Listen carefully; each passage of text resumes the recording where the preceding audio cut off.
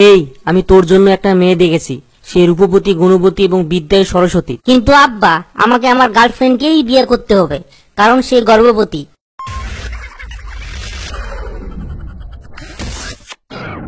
অঙ্কে তুই কত পেয়েছিস? শুধুমাত্র একের জন্য একশো পাইনি। তাই নাকি? তাহলে তুই নিরানব্বই পেয়েছিস?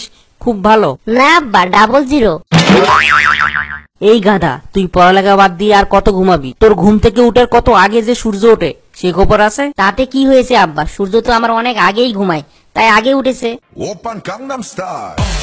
তুই আবার ফেল করেছিস? পাশের বাসায় নাকি দেখে কিছু শেখ। ও কি আর কতই দেখব আব্বা? পরীক্ষার হলে ওর দিকে বারবার টাকার জন্যই তো স্যার আমাকে হল থেকে বের করে দিয়েছিল। বাবা আজ আমি বিয়ে করেছি। কি? তুই আমারে না জানিয়ে বিয়ে করলি? তোর এত বড় সাহস।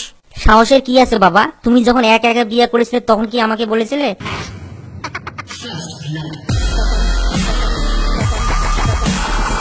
বাবা একটা কম্পিউটার কিনেছি।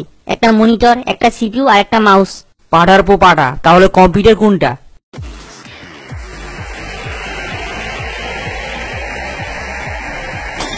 বাবা আমি আর্মিতে যেতে চাই। পাড়ার পো পাড়া তুই তো সাঁতার জানিস না। আব্বা তাহলে যারা এয়ারফোর্সে আছে তারা কি উঠতে পারে?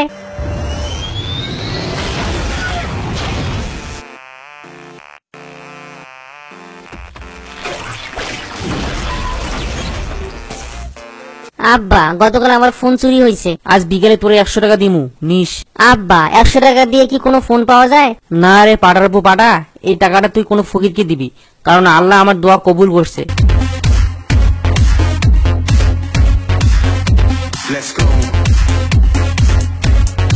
কি রে তোর শরীরে এত আটা ময়দা কেন? দুঃখের কথা কি আর কমু আব্বা? আমার বন্ধুর এক বিয়ে বাড়িতে এক মেয়ের সাথে ধাক্কা লেগে তার মুখের সব আটা ময়দা আমার গায়ের উপর এসে পড়েছে।